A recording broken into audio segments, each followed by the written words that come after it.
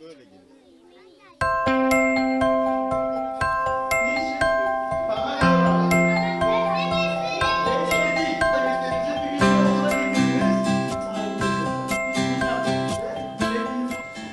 Çocuklara istediğiniz kadar paragraf okutun. Kitaplarda istediğiniz kadar hayvan sevgisini isteyin. Hiçbiri o köpekle o öğrencinin göz göze bakışması kadar etkili olmuyor. Gelin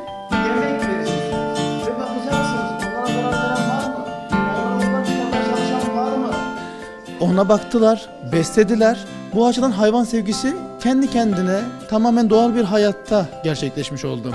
Üzerine sorumluluk almış oldular. Üzerine evdeki artık yemekleri çöpe atmaktansa büyük bir israf e, sağlama adına okula getirip hayvanları beslediler. Hem hayvan beslediler hem israfı önlemiş olduk hem de sorumluluk vermiş olduk öğrencilerimize.